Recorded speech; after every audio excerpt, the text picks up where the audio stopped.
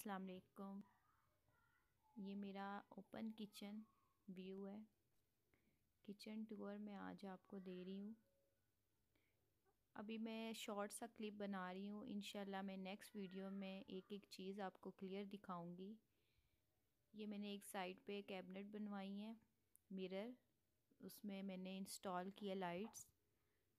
ये मेरा सिंक है। इंशाल्लाह मैं नेक्स्ट वीडियो में आपको एक एक चीज़ दिखाऊँगी। बस आप मुझे सपोर्ट करें।